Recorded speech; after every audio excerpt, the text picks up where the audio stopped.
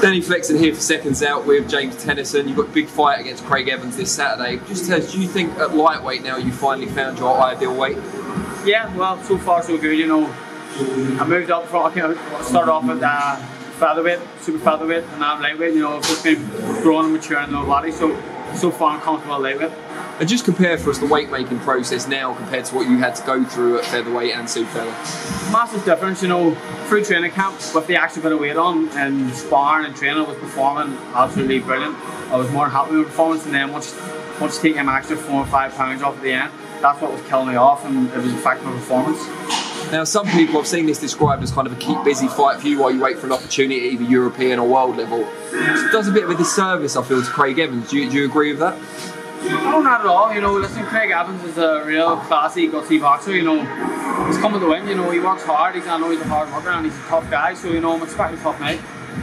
What is it you think that he brings to the table? Where do you think you hold the key advantages? Um, well, you know, listen, obviously a lot of people will be saying about my power, but I've been training for 12 rounds, hard fight, boxing, fighting, hitting, moving, whatever it needs to be, you know, I'm well prepared.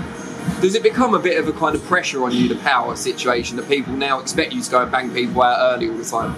Uh, no, yeah, not really. No, you know, I never actually, I'll never go out with the intentions of going to knock this guy out. They, they present themselves and they take him, and you know, it's been working so far so good. Do you see this as kind of the last stepping stone before another major fight? Is Craig Evans of that level that you think this could propel you to either a world title shot or an eliminator, perhaps? Fingers crossed, you know, listen, I believe Saturday night being Craig Evans will show, you know, that will show my class. I know a lot of people have been saying I'm above at domestic level. Do I feel so? Yeah, sort of do, but you know, this will be what's this will, this will confirm it for me, you know, to say like where I'm at. Who are you targeting at lightweight, or which title, or who? What's in your plans?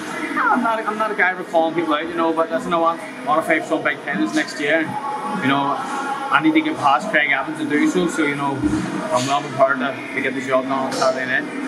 Lomachenko aside, because we feel either now or after his next fight he's probably going to move down. Who do you consider the best lightweight in the world?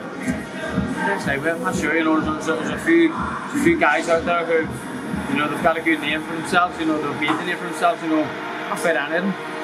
An easy fight to make, arguably, at lightweight would be you and Luke Campbell, both on the fringe of a world title shot. Is that, is that a fight you'd welcome? Listen, I'm, I'm, I'm fighter, absolutely. You know, there's no fight any of them guys out there. You know, I've just as much chance as anybody else. You know. And you've got Devin Haney, of course, WBC champion. He's also with Matchroom.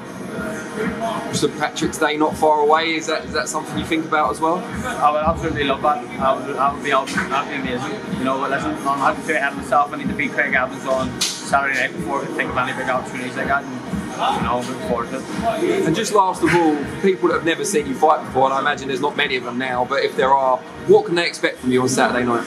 Fireworks, you know, listen, I, I'll bring it to any guy out there, you know, I'll bring it, come and get the top five for anybody, so, you know, it'll be fireworks. Brilliant. Well, we wish you the very best of luck. We'll be watching. We'll be on the edge of our seat, I imagine. Thank you. Cheers.